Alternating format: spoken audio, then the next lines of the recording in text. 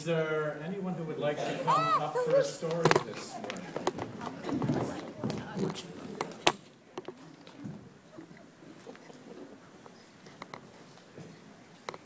You're all so awake. This is amazing.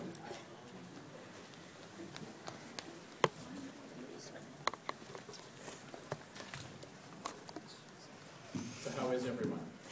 Are you good? Are you good? That's good.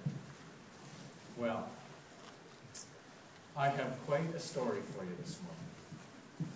This, I'm not even going to have you guess, I'm just going to tell you, this is an old story. 2,000 years old at least. And it's a story that Jesus told to people. So it's not a story about Jesus this morning, it's a story that he told to people. And we're not sure where he heard it from.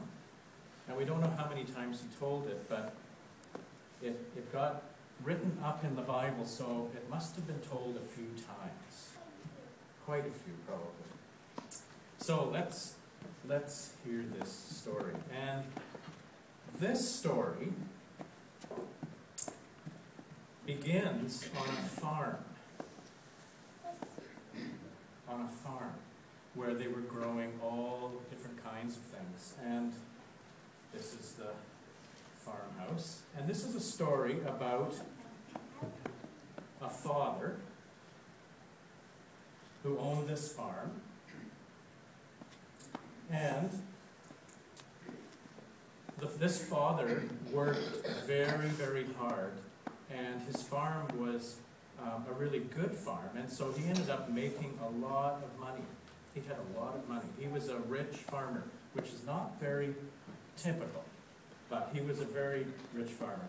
And he had two sons. He had an older son, and the older son did what he was told.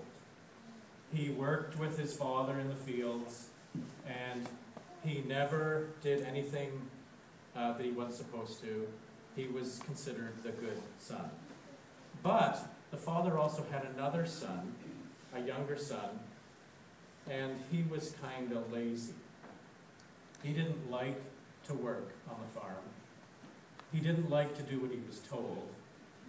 And he didn't even want to be there. He wanted to be anywhere else. And so one day, the younger son went to his father and he said, I want you to give me my inheritance now. Now, inheritance is a big word. Do you know what it means? Have you heard that word before? Kathy?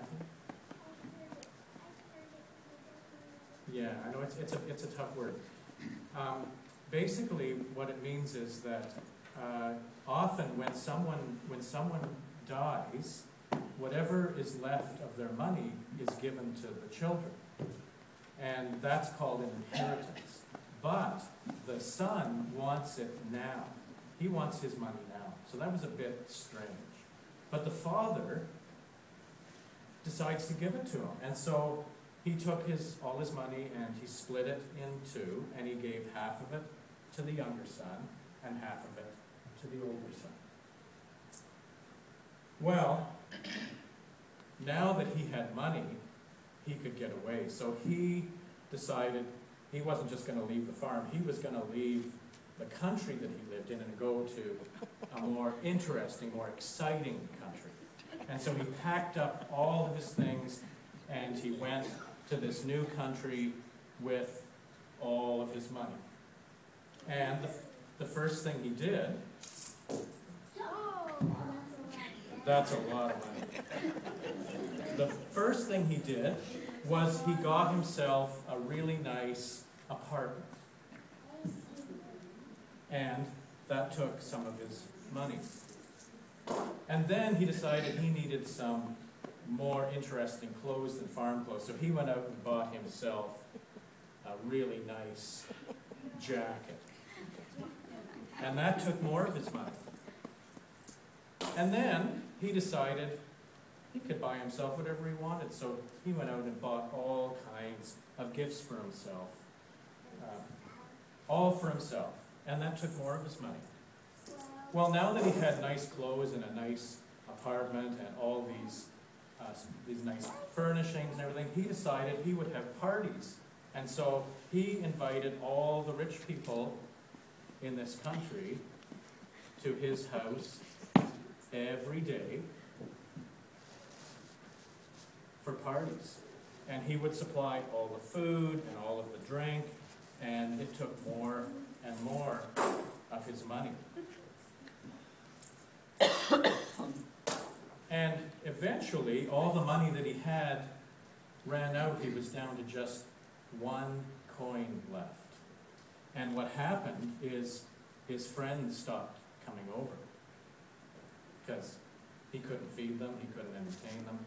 And then he had to sell all of his uh, gifts and possessions back because he couldn't afford them either. And he had to sell his fancy clothes because he couldn't afford them either.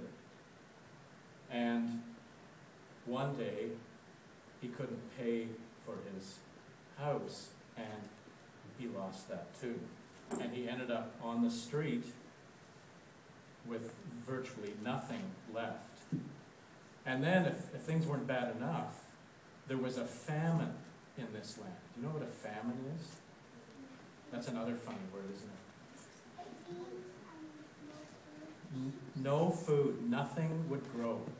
The rain didn't come, the crops didn't grow, and there was no food. And the little bit of food that was in the country went to the people who could pay for it. And he was able to buy one last loaf of bread, and then he was out of luck.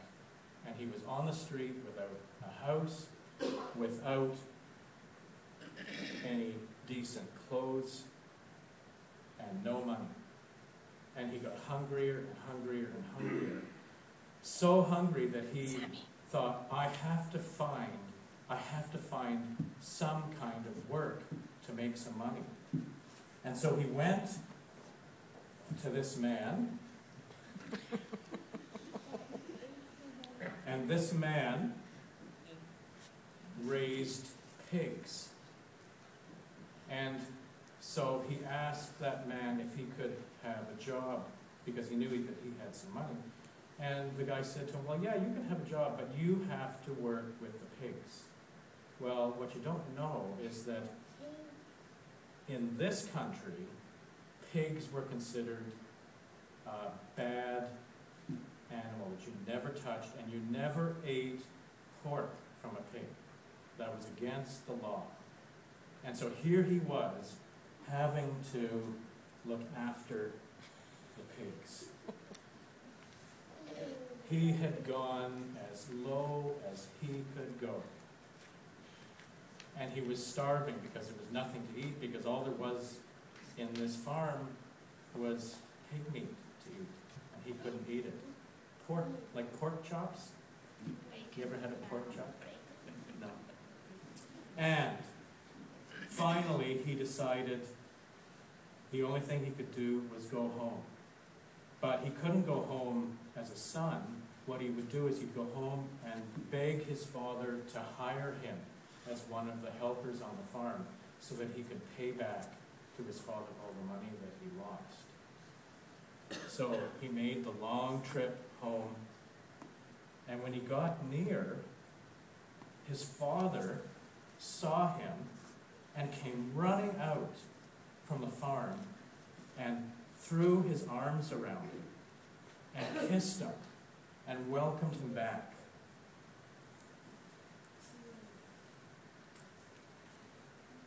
And the son couldn't believe it because he thought, if anything, he'd get a whipping, but he certainly wouldn't get a hug kiss.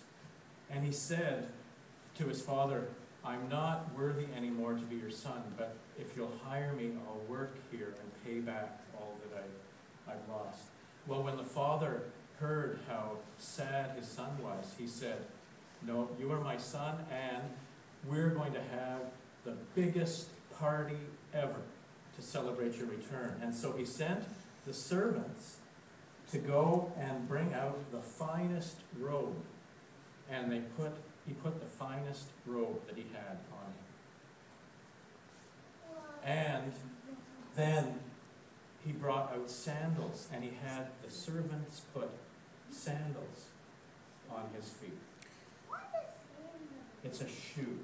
A sandal is a shoe.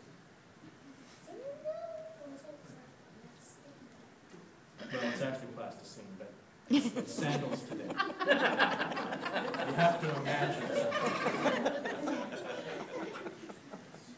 And so this was going really well, except the older brother who'd been out working in the field all day, who had never done anything to disobey, had never done anything except look after his father and look after the farm, hears this celebration, and, he's, and he says to one of the servants, What's going on?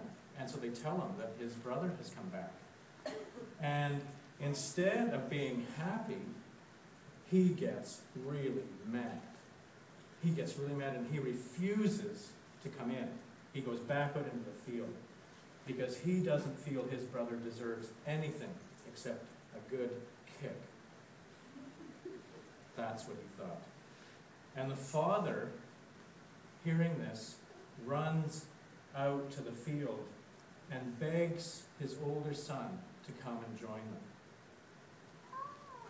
And the elder son says to him, This is completely unfair. I have been here all the time, I've never done anything wrong, and he's the one that gets the feast. It's just not fair. And the father says to him, Everything I have, I have already given to you, and that will never be taken away. We have to celebrate because your brother, who was lost, has come home. I wonder why the older brother was so angry.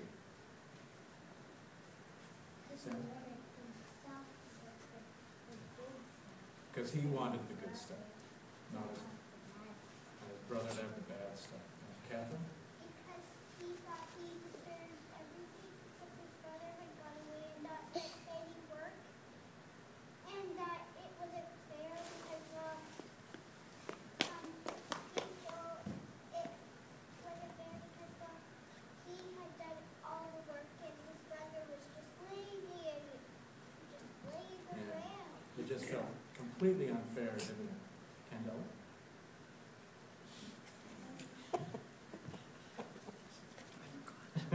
You think about it.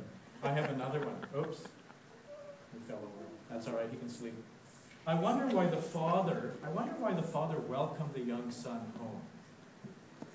What do you think? I wonder why he did that. Megan? Because he missed him. Because he missed them? Because, because, well, he was afraid that his son would may have got uh, something, he may have been dead. Yeah, yeah, that's a really good point. He might have thought that his son had been killed or had died or been hit by something out there. That's, that makes sense. I wonder, I wonder if the older brother joined the party.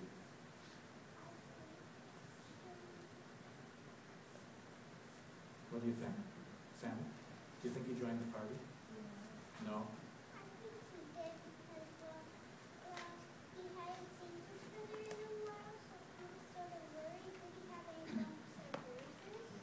So he joined the party and saw how his brother was doing. So he, he might have, he might have joined the party uh, because he might have been worried about his brother too. Well, you know, we don't know because the story ends before we even know that.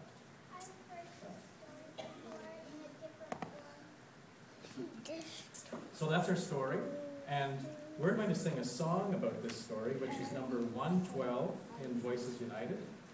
And